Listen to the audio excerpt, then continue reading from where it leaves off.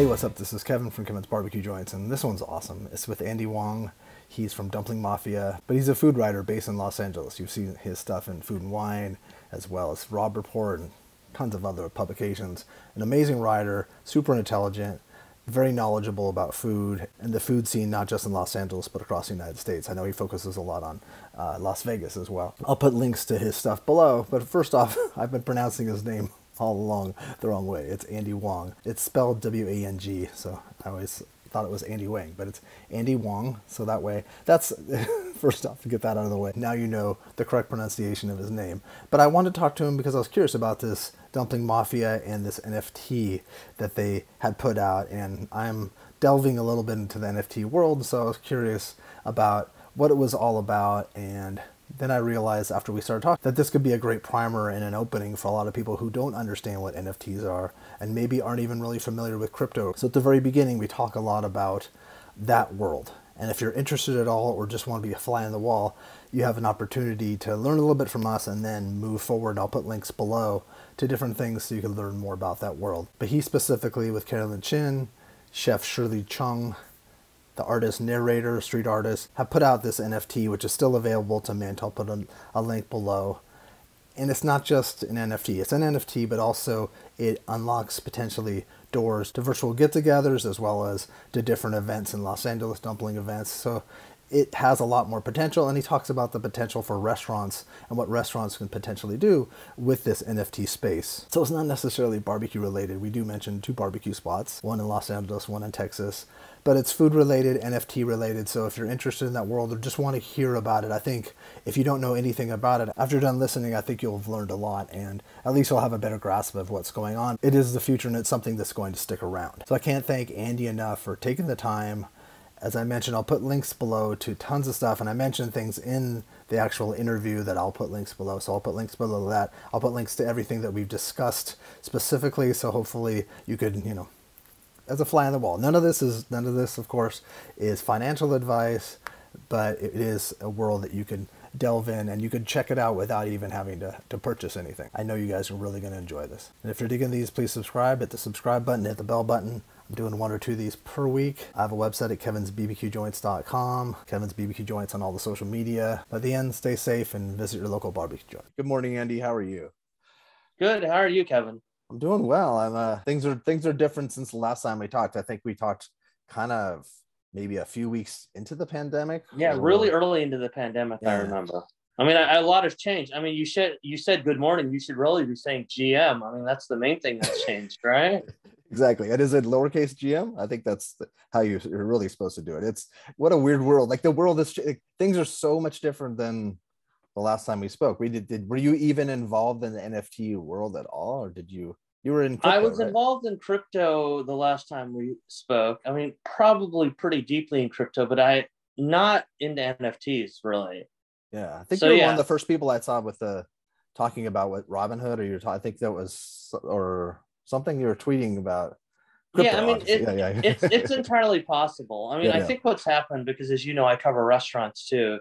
Yeah. There's a lot of people in the restaurant business who had a very very hard time last year, and a lot of them have sort of brought a little bit of justice back into their world just via their Robinhood accounts or their Coinbase accounts. And I don't really need to get into exactly what they're doing, but there's certainly people I know who are pastry chefs that like now own Bored Apes, right? Yeah. And there are people I know who are line cooks at really, really popular restaurants that did pop-ups and just started putting the money into different coins, you know, that were associated with you know different domesticated animals and they've done well. I mean it's like yeah because i don't want to like pump anybody's bags but you know what i'm saying. Yeah yeah exactly. I mentioned Bored Apes isn't pumping a bag at this point. But yeah that, yeah, that doesn't matter because they've yeah, already they're already there. Like it's yeah but yeah but it's undeniable that crypto you know and its many elements have changed lives for the better including a lot of people in the restaurant world who now you know had a very very tough year but some of them like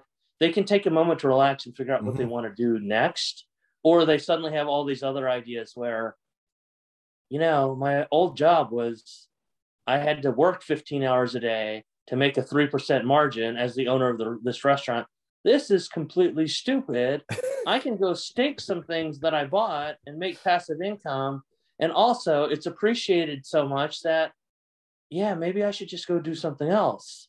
Or maybe it's fine for me just to take a job where I'm not an owner, where I get paid a good amount of money and just keep that. Because what's the point of owning this weird physical space that has like all these burdensome things? The reality is, it's like yeah, it's chefs and restaurant owners are going to do this forever because they love restaurants, they love the community. So they're going to keep doing it. But I think what a lot of people are finding out is that crypto NFT, it's a different community. It represents, you know, it represents freedom in sort of a different and new way. Mm-hmm. You know, and it sort of is about like innovation because it's like, look, ghost kitchens, whatever. I know those exist, but for the most part, the business model for a restaurant hasn't changed in decades you uh-uh. know uh, no not at all at all and the yeah. way they run they the way they work it's things have changed over the last few years for the better as it deals with interpersonal relationships between employees and things. I think that yeah. there's been that shift, but the way that a restaurant runs and the margins and the taxes and everything that they have to deal with and the employee, there's a lot, it hasn't changed in decades. Yeah. So, you know, you're basically dealing with a world where it's just all dinosaurs, mm-hmm. you know, and there are basically like different asteroids coming at them and they just keep dodging them but wondering if the next asteroid is the one that's just going to mm-hmm. destroy everything versus this world where for lack of a better comparison i know this is inelegant where in terms of crypto you get to be the asteroid in some cases you know that's interesting i never thought of it that way yeah and expl- explain well let's let's talk about nfts in general then we'll jump into the dumpling mafia and we'll talk about a bunch sure. of other stuff but but for those that don't know what an NFT is, why don't you uh, explain what that is? In sure. Best, in the I best mean, way you can. I, I could try, but I. An NFT is a non fungible token on a digital ledger known as a blockchain. That's like the most basic thing. And then you tell people that, and like, the fuck are you talking exactly. about? And it's like, yeah, you've already lost right, like 95%. There's a public ledger of transactions that exists, right? You know, one of the better known ones, the most popular ones is obviously the Ethereum network, mm-hmm. right? It is a thing that shows proof of ownership, proof mm-hmm. of transfer, right? And the thing that you can do with this is you can buy, sell, and trade different assets digitally. Yeah. And one of the you know best and most interesting ways this has been done through NFTs is by people creating digital art or other digital creations could be music mm-hmm. and then bestowing you know some sort of ownership right in some cases people get full commercial rights right yeah, exactly which is crazy. to people who to people who buy to people who buy these things and then it can be traded infinite number of times you can go and look and see the history of how something is traded yeah which is and so look a year ago explaining this shit to people would be like, what? All right, get the fuck out of here with this. now there's an easier way to do this, right? Where what I do now is I go, look, if you don't want to believe NFTs are mass culture, that's fine. But let's just go on Twitter for two minutes. And then I'm like, let's go look at Reese Witherspoon's profile picture. And it's an NFT, it's a world of woman. Let's go look at Jay Z's, it's a crypto punk. Let's go look at Steph Curry. Steph Curry, yeah. yeah, he's got a fucking Bored Ape. And then you're just like, this Bored Ape is worth hundreds of thousands of dollars. Mm-hmm. Steph Curry paid $180,000 for this. Look, I know Steph Curry ended up getting sponsored by FTX, and also $180,000 is like me buying something that's 80 cents at the grocery store. but this is real money. Jay Z mm-hmm. got a good price for CryptoPunk, but there are CryptoPunks that are that are in the millions right now. You know, mm-hmm. Steve Aoki, that famous DJ, he keeps changing his profile pic because he's he's like bought all of these NFTs. So now you're just saying, well, these are fucking JPEGs. What the hell is going on? And so there are two things that are going on, I guess. And one is just that, you know, this point has been made more eloquently on Twitter by other people, right? Is this thing that that people are talking about called the metaverse that Mark Zuckerberg is building. the metaverse has been existing for a while. You can argue that the metaverse is a place for all your digital stuff. Or you can argue, like some people are arguing, that the metaverse is a representation of this moment in time where a lot of us, especially during the pandemic, are living most of our existences not at restaurants, not at nightclubs, not at bars, not at public places, but on our fucking phones, on our, phones, on our yeah. computers. So the things that we have on our phones and computers become the most valuable parts of our lives in some ways meaning that like if you're the type of person if you're like jay-z in the hip-hop world right your biggest flex maybe you're a crypto punk because everybody sees your CryptoPunk. During a pandemic, you have a bunch of Bugattis. You may drive this one Bugatti three times, right? Or you have a Rolex or a Patek Philippe. Or a you gotta physically fucking go somewhere for people to see this. Yeah. Everybody on fucking Twitter sees Jay Z's crypto CryptoPunk, right? That's true. That's very but true. It's just new. It's just new flex, right? Uh-huh. And then the other part of it is just like the interesting thought experiment is like, what is an asset worth? What gives it value? Because it's like, look, we know this with art. There's like modern art where it's basically a black circle on a white background. There's modern art, you know, like at Art Basel where somebody taped a fucking banana to the wall. You know, there's modern art where Banksy destroyed something and it ended up being worth more than it was. More than- Who gets to decide this? Well, guess what? The marketplace gets to decide it. And in cryptocurrency, it's trying what it's trying to be is like the most efficient marketplace ever, right? So there's this well-known artist that we all know, Damien Hirst, right? He has this NFT called the currency this is the thing that when you tell people, they're like, oh, I start to get it a little bit. Meaning that, so Damien Hirst, you know, who does these colorful paintings, he has this colorful dot art and he's made thousands of NFTs. Uh, each one of the NFTs corresponds to an actual physical yes. piece of art that's like locked in some vault. And there's going to be a date where if you own the NFT, you get to make a decision. And the decision is meant to be thought provoking because Damien Hirst is just like, let's have a real conversation about mm-hmm. what the value of art is. So on this date, you decide you get to keep the NFT, but we're going to take the piece of physical art that corresponds to it and we're going to destroy it. Mm-hmm. Or we're going to burn your NFT on the blockchain and it's gone. And we're going to send you send the piece you. of physical art because you know there's been decades where Damien Hirst's physical art has been valued at a certain amount. So at this point, people are going to be like, it's going to be such a mind fuck of reverse, reverse psychology. What's the right decision? Well, clearly, Damien Hirst is telling me that I should keep the NFT. So that means that I should actually take the painting and vice versa. But no, wait, it's it's like some trick. And I'm just like, when is the last time art has actually made you think about yes. this, right? Uh-huh. It made you make and these things are trading for tens of thousands of dollars right now, right? And it's kind of crazy. And I don't want to name who this person is because although it's all public, you know, there's a prominent TV producer in the food world who bought one of our NFTs, our Dumpling Mafia NFTs, which we'll get to in a little bit. Yeah. I looked in her wallet and she casually has like three Damien Hirst.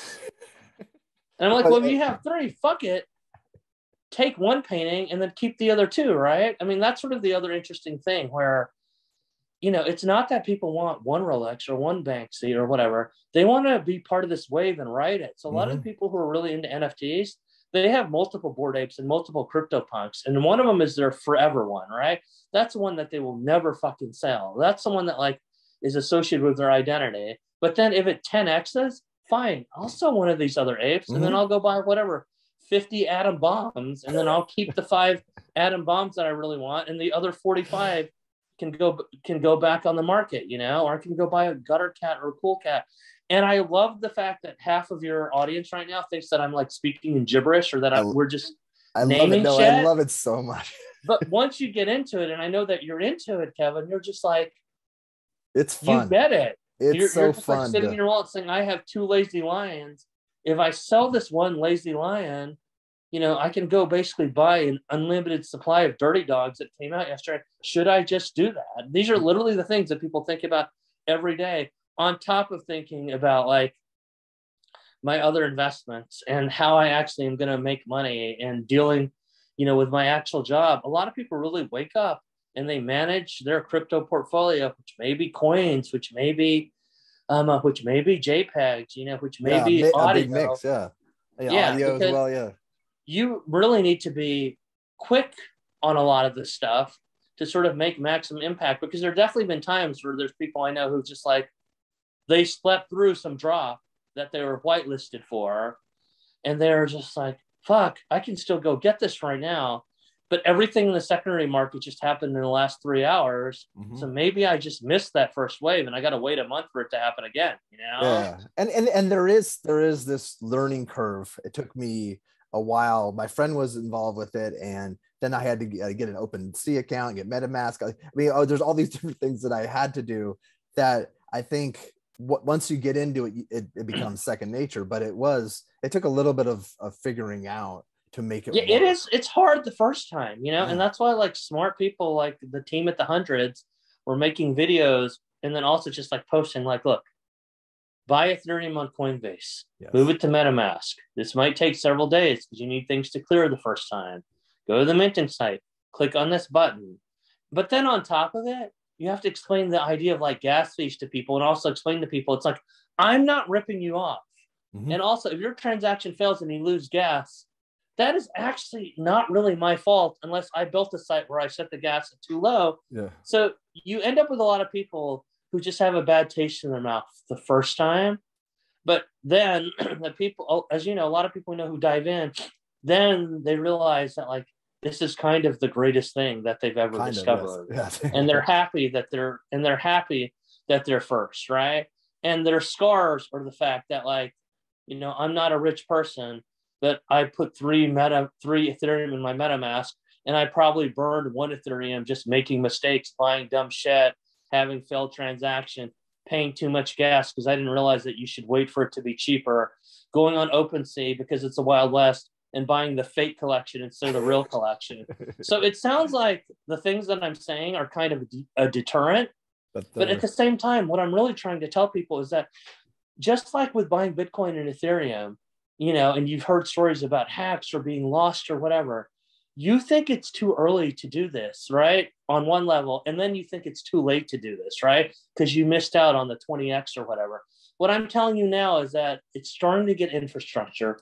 It is getting better. There are smart people, there are billion dollar companies, there are Wall Street firms, there are, you know, tech entrepreneurs who've done two, three things. There's Mark fucking Zuckerberg, right? Disney, they're in the middle of figuring NFTs. they're in the middle of figuring this out. So yeah. you're not it's the beginning. It's really, it really is the beginning. Even though you're not there too was late. a, yeah, you, this may late. be the right time. You think you're late, but it, in a way, it's not. It's still early. And Martha Stewart, Reese Witherspoon, Jay Z, Hoover, they're all just starting to figure this stuff out now. It's just the beginning, and it's maybe not the beginning to maybe you're not going to have a CryptoPunk or a Bored Ape, but you're going to get some things that have value. And also, too, I'm starting to buy things that I want to buy. Like not necessarily I'm looking to make billion. Yeah, dollars. you should treat NFT. You should treat cryptocurrency itself probably as an an investment. This is yeah. not investment advice, but meaning that a lot of people obviously have bought Bitcoin as an investment, and that's mm-hmm. and that's paid off for them, right? A lot of people have bought Ethereum as an investment. You should, for most people, you should treat NFTs as a fun hobby. Mm-hmm.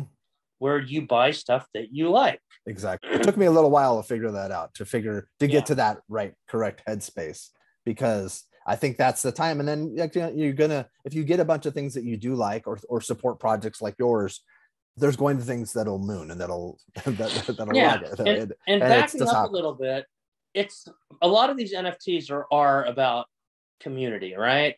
People want to feel like they're part of something. So a lot of them have elaborate roadmaps. And I guess this is a good segue to our Dumpling Mafia NFT. Yeah, let's do that. And then also too, like really quick, I'm going to put a bunch of links to videos on how to get a MetaMask, how to do how to how to oh great Coinbase, and and again, none of this is investment advice. If you see the just link off and see, and they people can check them out and uh, get advice, or they could write either of us to get some. Yeah, no, and I'm just going to say that everything that you've heard about it, we're like people are buying memes, people are just trading JPEGs, people are buying things that are parodies of something. Uh, I don't disagree with any of that. So again, not financial advice. Do yeah. your own research, as you say. But honestly, with NFTs, kind of just have fun and find communities that you like, or watch it from afar and mock it. I mean, who cares? Sure. Just yeah, be part of the yeah. conversation, you know? Yeah, at least you'll understand it once they started to understand it. And also, too, it kind of feels like, and I, I think this will be the case for anybody listening or watching, is that you feel like you're part of a world that not everyone understands. And that's fun too. To be yeah like it's it's it's right now there's it's not like everybody's aunt understands what's happening or or cousin it's like a, uh, most people i know don't don't understand and so if you're watching this and you're curious this is a chance. So let's talk about dumpling mafia. All right. Our plug you can mint dumpling mafia at dumplingmafianft.com we have 4888 um, uh, unique nfts inspired by chef shirley chung who you know from top chef mm-hmm. her progressive Chinese American food. We have this really great street artist narrator who designed different dumplings and baos and wontons and a baby pig dragon because um, uh, Shirley and her husband, because they're Chinese, they're associated with pigs and dragons because of when they were born. Ah. That, that part is fun. You know, there are in real life perks. Like if you're in Los Angeles, you know, you get entered into drawings for, you know, different events that Shirley's throwing with her dumplings. If you're not in LA, there's, you know, virtual meet and greets. And honestly, we've already done. We're just going to keep adding value because we've already done a couple parties. You were invited to one, Kevin. Yeah, you know, uh, and you know, with great food, we you know are doing something with a prominent art gallery soon, and we're just going to keep doing more and more. And we're not going to have an official roadmap because here's sort of what I want to get into, meaning that a lot of these other NFTs, they have to have these elaborate roadmaps because they have to convince people that they need to build a community. Chefs, and I'm not just talking about our NFT because I encourage other chefs to do this. Chefs live and breathe and are just at the restaurants all the time. The community exists. Chefs aren't going anywhere. There's literally already a brick and mortar venue mm-hmm. that they go to every single day. You know where to find them. And so buying an NFT from a chef, it may be a way just to connect with them in a deeper way you know unlock certain unlock certain perks. Certainly like smart chefs could do a thing where you walk into a restaurant use a crypto atm from our friends at coincloud. These are our friends who helped us create the nft yeah, yeah. buy an nft and sit down and you get to eat for free because you're not really eating for free because you already bought some paths via your nft right? Like think about Howlin' Rays could tokenize oh, yeah. something where you could actually skip the line. Moo's Craft Barbecue could do that. Aaron Franklin could do this. Think about all these experiences that people are already paying for, right? Where it could just be a $300 NFT ends up being your line pass where you get to cut the line two times and we're going to give you a special off menu mm-hmm. sandwich or something, right? Yeah, yeah. I'm just saying that there's opportunities for lots of people to do this. They could do them with us, they could do it with CoinCloud, they could do it by themselves. So what we're doing and we do not yet know if we've succeeded yet, although we did a small drop of Dumpling Mafia bosses, which were pretty expensive 0.0888 Ethereum. And we sold dozens of those, and a lot of them were to prime, prominent chefs or other people in the food world. And now we dropped 4,888. And we're going to be, you know, and we're filmed a video with a prominent newspaper um, uh, Shirley's working on some TV things that will promote it. So I think we're going to have a very big January and February. but I'm telling you right now, I don't know about the long term success of this or any food related NFT. But what I'm saying is that you're used to working really, really long hours for a tiny margin. And working on NFT is hard and it's going to cost you some money the first time. But Shirley Chung will attest to this. It's less effort than rolling dumplings every single day. Yes. And there's may be a greater financial reward, but if not, there's still this rewarding thing where you're really engaging the community mm-hmm. and you're having fun and you're learning about new things. And Shirley is just excited to own NFTs that she created.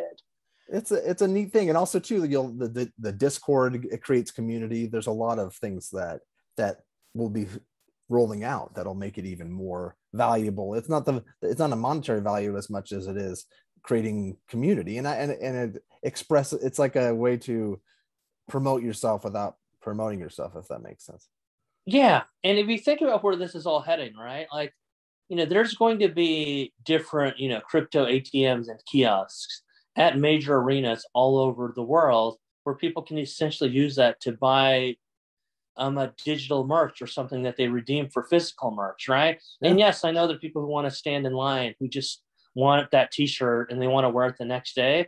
There's also people just like, well, I don't want to stand in line. Let me just scan this on my phone because they'll send me the T-shirt a week from now, mm-hmm. and I've unlocked all the and I've locked unlocked all these other perks, including the pre-sale for the next five concerts for this band. Yeah. So in fact, maybe this thing that because this is the thing, you can tokenize anything. You can add anything. You can add anything of value. So I think there's just a lot of applications for different creators to try this. Yeah. But I want to back up a second and also just say though, but if you're just a single artist and you've hand drawn three things and you want to try to go to OpenSea and sell it, it's a little bit more complicated than doing on eBay, you know, than like selling a physical thing on eBay.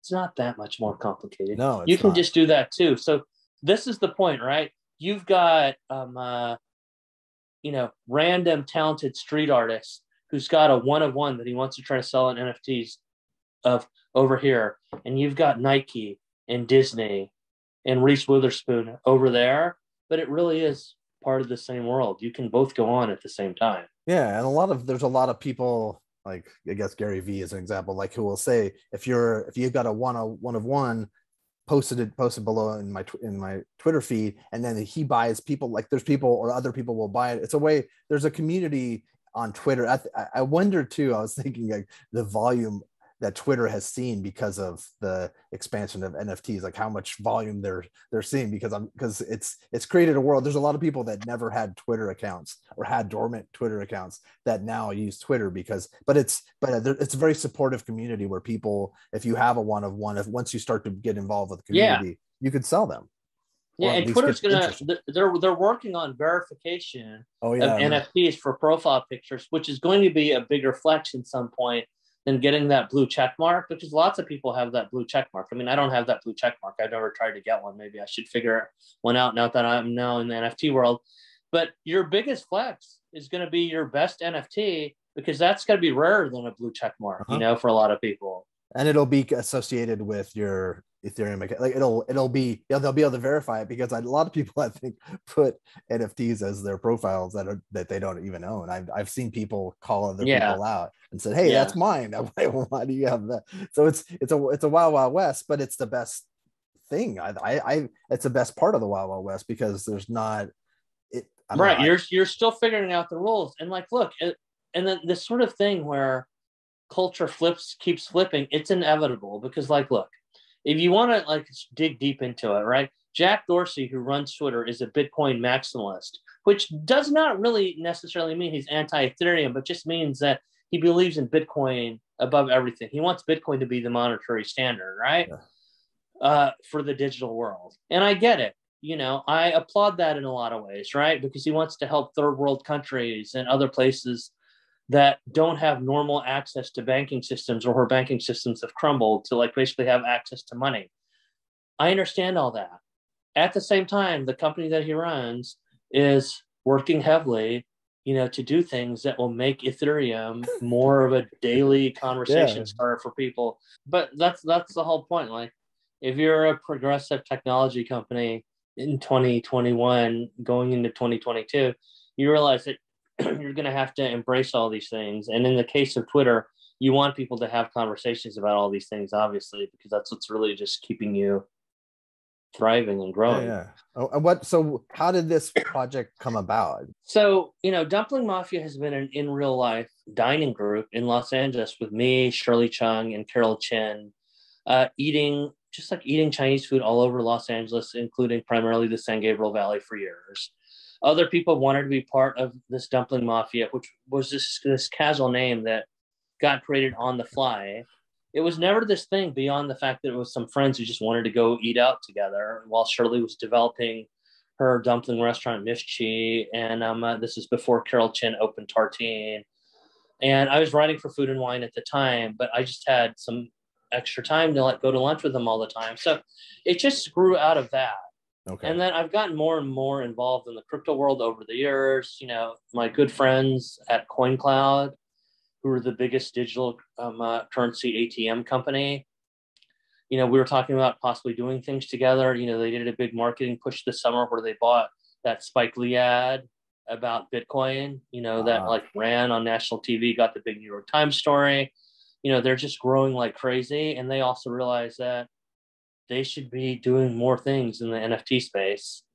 And so collectively, we had a dinner, I think in early September, talked to this artist, great artist narrator, who had already been drawing some art for Shirley's future Dumpling Mafia restaurant, who very much understands the restaurant world because Shirley met him when he was a server at a restaurant next to her oh. restaurant, and he had drawn a mural there. And we just had a conversation about why don't we try to do something fun that potentially builds community, potentially makes us some money, but potentially also more important than that, just opens us up to doing different things mm-hmm. in the future. Definitely. And that was sort of the thing where I'm like, I don't think doing this first NFT is going to change anybody's life in any significant way, but maybe being able to do NFTs will eventually change yes, people's lives. That's what it is. Right. And then yeah. it's like, sure, why not try to do the first one now? Why not try to make a lot of mistakes?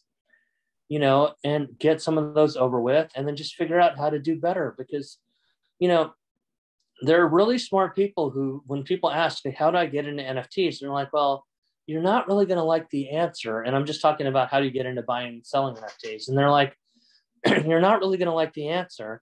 But the answer is go to on MetaMask, load up an amount of Ethereum that feels significant to you, but is not at all life changing if you end mm-hmm. up losing it all. And just use that as your education fund because you're probably going to lose most of it. Mm-hmm. But then after you've done that, you're going to know how to do this. And then when you reload your Ethereum, you're going to make better decisions. And also, maybe one of your first decisions that might have seemed stupid like pays off in like some weird way because yeah. it does end up mooning or it does end up unlocking this community for you and you make friends with in real life perks or it leads to different career yeah. opportunities or it at least leads to a fun vacation you know like a lot of people who'd never met before have shown up at different crypto and nft conferences yeah. and really like found the community that they mm-hmm. wanted during the entire pandemic you know? yeah, exactly. And it's yeah yeah i think it definitely will open do- doors and it puts you on lists like it gets you and once you go into discords and start talking to other people you'll find like-minded people. You find a lot of maniacs just like you do in re- regular life like it's just it's it's real life just like real life. But you find a lot of people that and i say maniacs it's like people that aren't like gonna kill you people that are more so just like hyped on weird stuff. But uh, I, you also find a lot of like-minded people and once and they could turn you on to something that's interesting in the nft world or it's just that it's uh, it's refreshing to me. It's very refreshing that something like this exists and i think that if you get involved right now it's even more refreshing because it's so new and such a you know you never know what's going to happen next week and you never know like and also think also too that it's kind of like a fun thing like when you get to, to mint something that all of a sudden does moon or does does do better than you imagine that's a cool it's a cool feeling. Right or you mint something right? Like one of our dumpling nfts which you know you go to dumplingmafianft.com yes. These things we're, we're trying to make them uh, this new collection very entry level. It's 0.008 ethereum which what with the price of ethereum right now maybe 40 bucks right? Yeah. yes i totally understand that there are gas fees that we don't see yeah. that you're going to have to pay. So you may be paying a hundred dollars. You may be paying $120 total. If you buy at a really bad time, you could be paying more. I advise you not to buy at a really bad time for when it's busy and the gas is high. But like, let's just say that whatever, it's a hundred dollars or $120 all in. Seems reasonable, right? Yeah. Maybe it appreciates. Maybe it doesn't appreciate. Or maybe during the Lunar New Year, you win a drawing, you just get to go to a party and you get this amazing free dinner or maybe you know in the near future when shirley opens her dumpling mafia restaurant you're on the list for her preview party right yeah, yeah. and you get all That's and you get all the value stuff. back that way because you know i believe that a lot of the nft things right is that it's also people are realizing the thing that a lot of people are realizing where a lot of times it's better to pay for experiences than it is to pay mm-hmm. for physical things and just the experience of being in the NFT world is already this wild thing. But if you're the type of person who's kind of social and wants to go places, it will also unlock things for you. I mean, there are crazy in real life bored apes and hundreds parties at the NFT New York conference, right? I watched a lot of it on Twitter. yeah, and, and there's certainly people who are some of the people are the primary or, owners of bored apes who are just like, yo, I own NFT, so I don't have to talk to anybody. I don't want to go to this shed. But here's the great thing about it if you have a successful NFT collection like Bored Apes or Hundreds, you're going to have thousands of owners, and people can choose to use this NFT mm-hmm. however they want. Fun yeah. thing, investment, maybe part of a community, you know, or this is just something that I just bought because I thought it was cool and I'm going to forget about it and look at it in 10 years and see where the world is. I mean, that's great too. Yeah, that's also fun too. It's like it's like almost like you bought a bunch of baseball cards and then you look at them 10 years later and then realize oh i didn't realize i had a mark mcgwire rookie card or something. That's just it's which he's a bad example because he's probably not worth much yeah. but it's but it's it's it's fun. It's i it's and also i it, the research i i'm my i have a research brain. That's i love researching things. And so that if you enjoy exploring and searching and uncovering things this is a perfect world too because there's lots of that involved and i with so it so all the different ways that you can you can go there's on twitter it's there's a dumpling mafia nft It's um on Instagram, which is probably the best way to find us. Dumpling Mafia NFT. Uh, on Twitter, it's dumpling underscore mafia. Okay. And there are links to all of our other, and there are links to all of our social media. But I honestly, what I would say is that like this conversation is really just like encouraging people to sort of just like go to OpenSea, which is the biggest marketplace. Yeah. It has lots of issues, but it is by far the biggest marketplace. Start looking around for stuff that you like. You know, start following the accounts maybe of some of the things that you like. Then Twitter will start you know the algorithm will then send you things that yes. are minting and suggest different links and discords for you if you sort of want to dive into that world or just buy a couple things that you like and then don't think uh, and don't think about it and don't interact with anybody you you can do all of this so yeah. i'm actually not here to sort of like shill nfts overall but what i am here to say is just that like cryptocurrency is here mm-hmm. and the applications for cryptocurrency and programmable money are only starting. And you have all of these big Wall Street institutions that are now looking into it. And it's only a matter of time before you can start, you know, investing in cryptocurrency in your 401ks. Because as you know, now there are Bitcoin futures ETFs, and soon yeah. there are going to be Bitcoin spot ETFs, and it's going to happen probably with other coins in the in the near future. So you know, none of this is an investment advice, but you feel like this sea change is happening. And I covered .com 1.0 and you know years ago i'm like dating myself in terms of how old i am but i feel a very similar energy i feel and similar, that's yeah. and that's the thing that i want to sort of tell people you know like if you look at like even like the best.com venture capitalists you got to treat this as a thing where you understand that 90% of the things that you do may end up being mistakes and may actually mm-hmm. go to zero you know and out of the 10% or whatever, some of them aren't going to go to zero, but they're not really going to do much for you financially. So, how is this going to stimulate you? You know, how is this going to like help you mentally, you know, spiritually? How is it going to help you sort of unlock other things that you want in your life and live a mo- more fulfilled life? And yes, how is possibly, if I make good decisions, one of these maybe going to make me some money? Mm-hmm. Those are all things that you should be thinking about at the same time. But I think that, like, you know, for a lot of people, making money is the primary part of it. And, like, look, I'm a capitalist like everybody else. I love making money. But, like I said, the first part of making money in this world is probably lighting money on fire and making some mistakes. And mm-hmm. some people who do that may just be done and they may not go back. But that's that's the whole thing.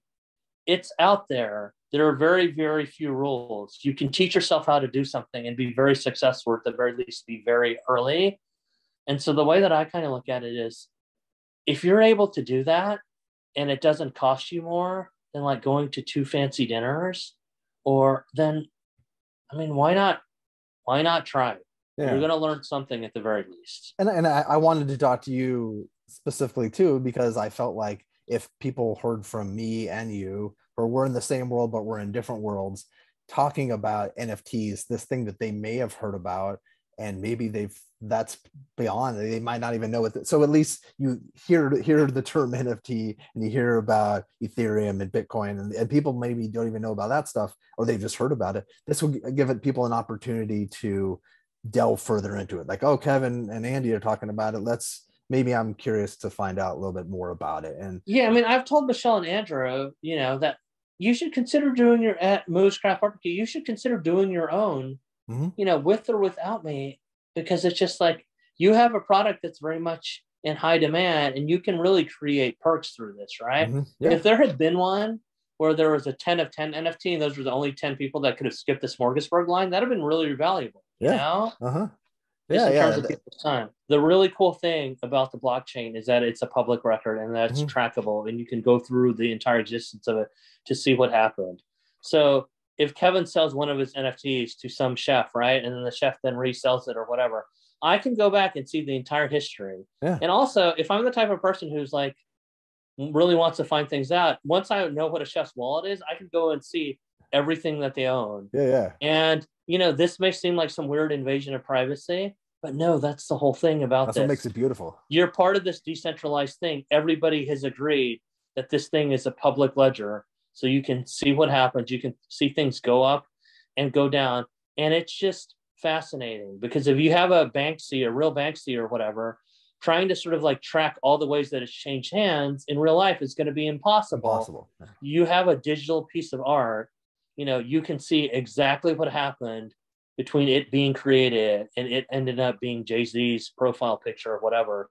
I think that's pretty cool. Yeah, it's really cool. I, I, wonder if we should end it by saying, "Never give anybody your phrase, your your uh, your passphrase. What do they call it? Your uh, oh yeah, your seed phrase. Your seed phrase. No, yeah. So we should basically end it. It's like yes, there are a lot of scammers who are always asking for things. Do not ever give up no. anything that seems like personal information.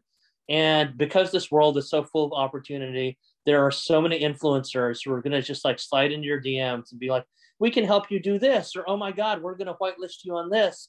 Or you know let me post a video of this. And it's just like just like in the world with food influencers who want freebies and all this it's just like exactly that's exactly it reminds me of that for sure. Yeah. fuck these people. Fuck them, you yeah. already have a good bullshit detector from being in all the other world. It's just like you know have it turned up to 11 and yeah. um, you know be careful out there and have fun yeah have fun and if again like i had said earlier if there's there's any questions at all ask myself or ask andy and if we don't know the answer we could we could pass you on to somebody that would know the answer and it's just it's a it's a it's a fun world and if you just want to be voyeuristic and just watch the world for a while and then jump in do that too. It's that's there's a lot of that's a lot most everything's accessible without having to actually buy in too yeah, not, exactly. not to own, not to own it, but to, just to to watch it. Yeah, I'll have links to all this different things. I'll even all the things that we've discussed within this. I'll have links below. I don't know if people will actually use them, and I'll I'll do a companion blog piece too, so that way to try to make it a little easier for people. But it's I'd I'd figure we open the discussion, and maybe in six months we talk again about this and see if your opinions changed, how it's different. Because I'm sure, like we talked to it a year ago, and or even longer, things have changed so much in the world, and so I think we should maybe kind of catch back. And then also, oh, don't you do also a uh, what's that? I don't, I don't, I don't do it, but what's that thing called the Clubhouse or something? Is that? We still we did do a launch event on Clubhouse, and um, uh, we're still I'm still part of LA Food Gang on Clubhouse. We're probably going to be doing some things on Twitter Spaces too. So yeah, the best way is you can follow me on Instagram at Andy Wong NYLA you can follow Dumpling Mafia NFT on Instagram, and there'll be posts to okay. whatever we're doing. And honestly, if we talk again in six months or a year, by then it's going to be like there's going to be some new social media app that people are using for NFTs. I mean, it's all but oh, guaranteed. Yeah. You know, I, I, agree. And also too is that is that the most mispronounced thing is people call you Andy Wang instead of Andy Wong.